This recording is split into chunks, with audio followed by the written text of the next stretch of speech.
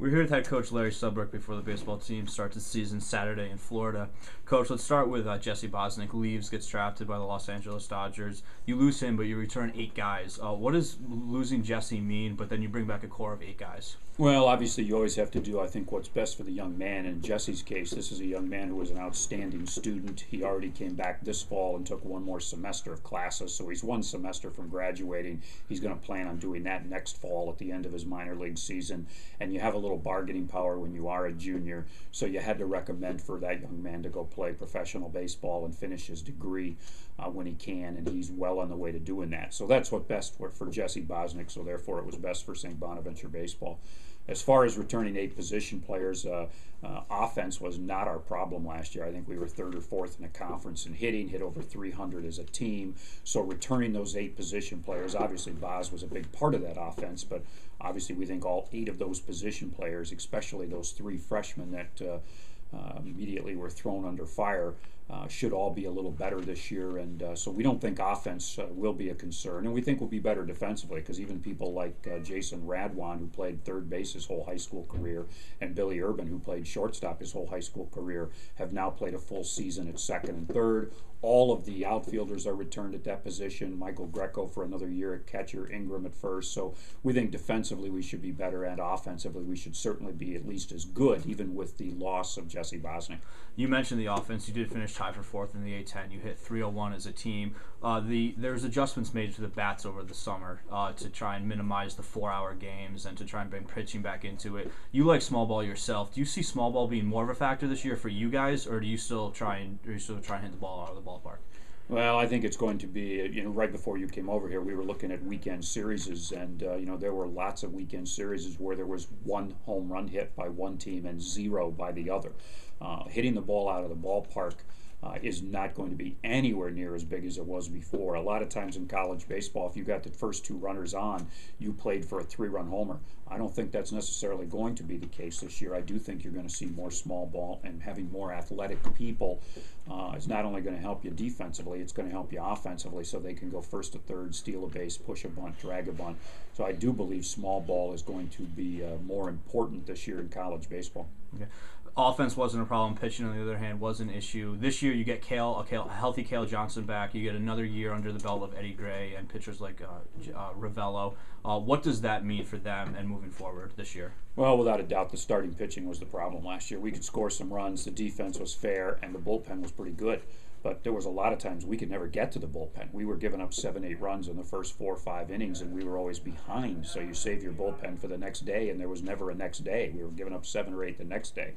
Um, the thing we think has improved about that is we lost Kale, who was the number one guy last year for the season, and Matt Stewart, uh, the junior college pitcher, was scheduled to be the number two pitcher last year, and we lost him for the entire season. He never threw an inning. So that forced Eddie Gray uh, to get thrown into the Atlantic 10 uh, weekends, which he probably wasn't ready for. But by the end of the year, I think the last four weekends, twice he was the uh, A10 rookie pitcher of the of the week. So he figured things out. So, uh, but the biggie is getting Kale Johnson back. Uh, Kale has thrown uh, this uh, spring already four or five times uh, live to hitters. His velocity is there, so there's no arm strength. Uh, right now, he's not locating the ball all that well, but again, he hasn't pitched in 11 months, so that is a long layoff. But the velocity there is, the strength is there. So if he goes back to the one spot and you can put Eddie at a number two, now Eddie is a very good number two pitcher in the A10.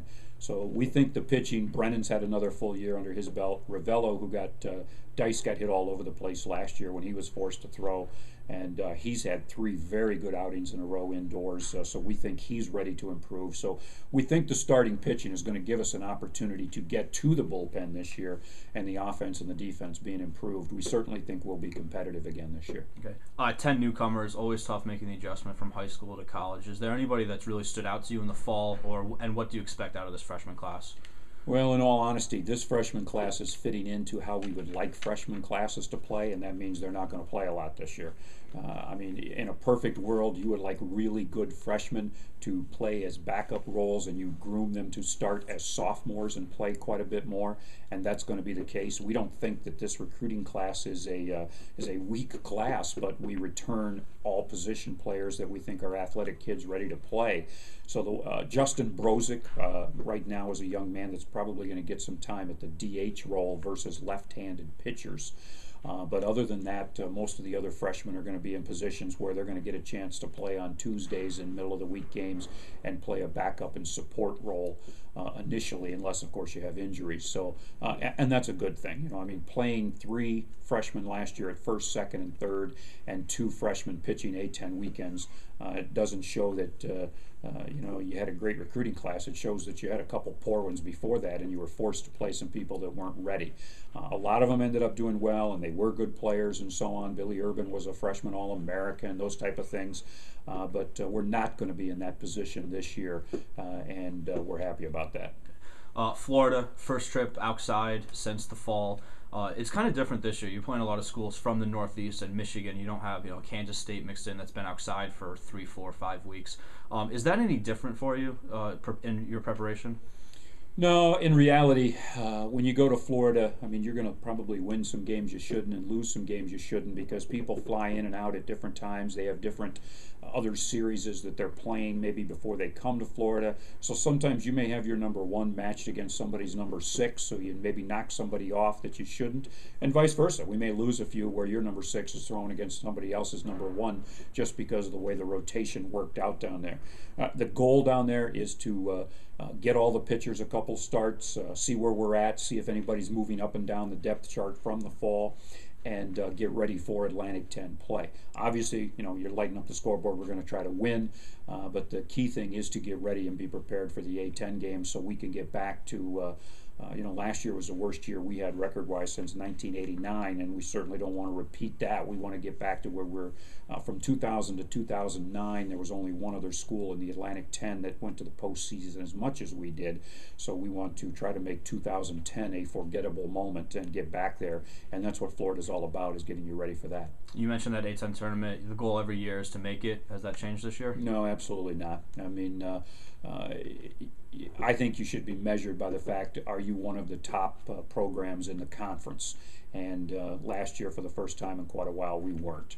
And we want to get back to that. And once you get there, I do believe uh, some of the discrepancies as far as weather and stadiums and so on and so on. It's your number one against somebody else's number one or number twos, and it's your top 12 players, uh, top nine, and their three best pitchers against somebody else's top 12. During the regular season, some of the schools that are fully scholarshiped have some depth. Um, advantages over you. Uh, those depth advantages aren't generally as important in the conference, and if you play well, you can come out of there and go to the NCAA. So, getting back to the tournament's always the number one goal. And uh, uh, if we stay healthy, I, I, think we have a shot to do that this year. I would v- be very much disappointed if we don't do it the next couple years because we have a lot of sophomores and juniors that will be playing this year. But I do think. Uh, we're skilled enough that we probably have a shot to get back there this year. Okay. Thanks a lot, Coach, and good luck. You're welcome.